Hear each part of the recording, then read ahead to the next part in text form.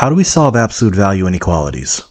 So we've got the absolute value of 7 plus x plus 2 is less than 24. We want to start by isolating our absolute value, 7 plus x here. We can do that by subtracting 2. Subtract 2 from both sides. We get the absolute value of 7 plus x is less than 22. Since this absolute value is less than, we can rewrite this using an AND compound inequality. An AND compound inequality takes the form negative A is less than X, which is less than positive A. A and A are going to be 22. X is going to be the expression in our absolute value. We're going to rewrite this as negative 22 is less than 7 plus x, which is less than positive 22.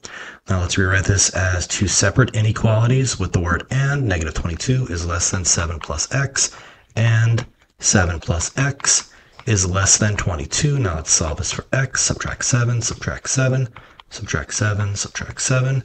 We get negative 29 is less than x, and x is less than 15. We can rewrite this as one larger compound inequality. Negative 29 is less than x, and x is less than 15. Now to graph this, we could have negative 29, and we want an open circle.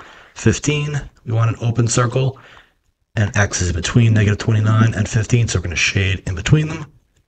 This is our graph and our solution for our absolute value inequality.